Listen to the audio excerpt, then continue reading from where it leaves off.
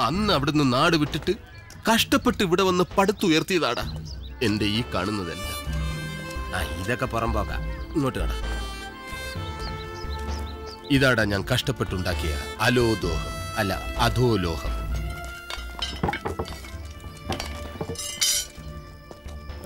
എന്തു തോന്നുന്നു? കഷ്ടമാണ് വലിയേട്ടാ. കഷ്ടമാണ്. നാട്ടിലും വീട്ടിലൊക്കെ ആളുകളുടെ വിചാരം വലിയ കോടീശ്വരനെന്നാ. നാട്ടിൽ അമ്പലക്കുളം വെട്ടാൻ സംഭാവന കൊടിമരം കെട്ടാൻ ലക്ഷങ്ങൾ കട്ടും പിടിച്ചു പറിച്ചും ജീവിക്കുന്ന പെരും കള്ളന്മാരുടെ നേതാവാണെന്ന് ഇപ്പോഴല്ലേ എനിക്ക് മനസ്സിലാവുന്നത്. ഡേ, ഡേ, ഡേ, ഡേ. കള്ളനാകുന്നവർക്ക് ഇക്കാലത്ത് എളുപ്പം കോടീശ്വരനാകാൻ പറ്റൂ. എടാ കുട്ട നീ തീഹാർ ജയിലിൽ ചെന്ന് നോക്ക്. രാജ്യം മുഴുവൻ ആരാധിക്കുന്ന കോടീശ്വരനെയൊക്കെ അതിനകത്ത് കാണാം. നാടിന് വെട്ടിച്ച് ആയിരം കോടി അയ്യായിരം കോടിയൊക്കെ ഒരുമിച്ച് വിഴുങ്ങുന്നതൊക്കെ വെറും കുംഭകോണ അഴിമതി. അതെ. നമ്മൾ എന്തെങ്കിലും നക്കാപ്പിച്ച അടിച്ചു മാറ്റിയാൽ അത് പോക്കറ്റടി പിടിച്ചു പറയും മോഷണം. അല്ല. നീ സിറ്റിയിലോട്ട് വന്നത് വലിയേട്ടനെ കാണാനുള്ള മോഹം കൊണ്ടൊന്നും അല്ലല്ലോ. എന്റെ കയ്യിൽ നിന്ന് പത്ത് ലക്ഷം രൂപ നിനക്ക് കിട്ടണം. അപ്പൊ നിനക്കും ആശ കാശിനോടാണ്. ഒരു കയ്യിൽ സ്നേഹവും മറുകൈയിൽ പത്ത് ലക്ഷം രൂപയും വെച്ച് നീട്ടിയാൽ നീ എതിർക്കും പറ. വഴി വിട്ട രീതിയിൽ ജീവിക്കുന്ന നിനക്കൊക്കെ പറയാൻ പല ന്യായങ്ങളും ഉണ്ടാവും അന്യന്റെ കാശ് കൊണ്ട് ജീവിക്കാൻ നാണമില്ലടാ നിനക്കൊക്കെ. ഡേയ് നിനക്കത് മനസ്സിലാകണമെങ്കിൽ നീ ഗീത പഠിക്കണം ഗീത. നമ്മുടെ കട്ടപ്പല്ല ഗീതല്ലേ നിന്റെ കുടുംബക്കാരെ കുറിച്ച് ചോദിച്ചില്ല. എടാ ഇത് യഥാർത്ഥ ഗീത ഭഗവത്ഗീത ഗീത. കേട്ടിട്ടില്ലേ? ശ്ലോകം ഞാൻ പറഞ്ഞുതരാം. യഥാ യഥാ ഹി ധർമ്മസ്യ. നന്നായിട്ട് അറിയായിരുന്നു ഈ ചൂരയുടെ ഉള്ളിൽ നിന്ന് നിന്റെ തൊണ്ടേ കയറി കുരുങ്ങി. അത് വിട് ഞാൻ അർത്ഥം പറഞ്ഞുതരാം. നീ നേടിയത് വല്ലതും നീ കൊണ്ടുവന്നതാണോ. ഇന്നലെ വേറൊരാളുടെ കയ്യിൽ ഇന്ന് നമ്മുടെ കയ്യിൽ നാളെ മറ്റൊരുത്തിന്റെ കയ്യിൽ എടാ അർത്ഥം മനസ്സിലായല്ലോ? എടാ എന്നോടൊപ്പം നിന്നാൽ പത്ത് ദിവസം കൊണ്ട് പത്ത് കോടി ഉണ്ടാക്കി തരാൻ ഞാൻ നിനക്ക്. കാശല്ലേ എനിക്ക് വേണ്ട.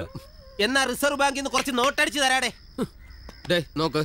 നിനക്ക് സുന്ദരമായ ഒരു മുഖമുണ്ട്. താഴോട്ട് നല്ല ഏരിയയും ഉണ്ട്. ഇത് ഉപയോഗിച്ച് ഞാനത് ക്യാഷാക്കി തരാം. ഒരു കള്ളന്റെ ഏറ്റവും വലിയ ശാപം അവന്റെ രൂപമാണ്. വളരെ ശരിയാണ്. ഈ പിത്തകാടിയിലൊക്കെ മുഖം കണ്ടോ? ചൊറിയണം പറ്റി അടിക്കാൻ തോന്നും. മുഖത്തുണ്ട് കള്ള ലക്ഷണം പക്ഷെ നിന്റേത് അങ്ങനെയല്ല സുന്ദരമായ മുഖമല്ലേ? നീ ഒന്നുകൂടി സ്റ്റൈലിഷ് ആയാൽ കള്ളന്മാരുടെ കിങ്ങാവാം.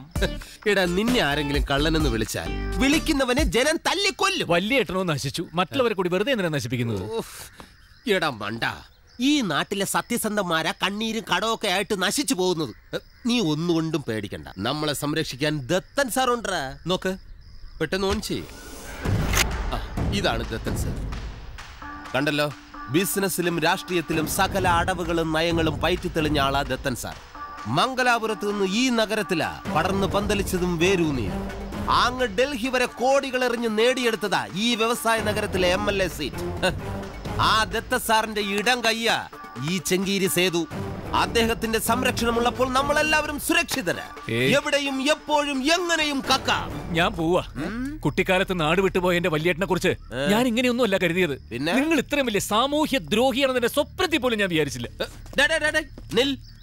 നീ വിചാരിക്കുന്നത്ര സാമൂഹ്യ ദ്രോഹികൾ അല്ലടാ കള്ളന്മാർ. ഞാൻ പറഞ്ഞു തരാം. ഞങ്ങൾ മോഷ്ടിക്കുന്ന കാശ് സമൂഹത്തിൽ തന്നെ കിടന്ന് ചുറ്റപ്പെടുകയാണ്. ഉദാഹരണത്തിന് നീ ഒന്ന് സങ്കല്പിക്കുക എന്റെ ഗ്യാങ്ങിലുള്ള രണ്ടു പേർ. ഒരു കൊള്ളപ്പലിസക്കാരന്റെ വീട്ടിലോട്ട് കയറിയിട്ട് ദേ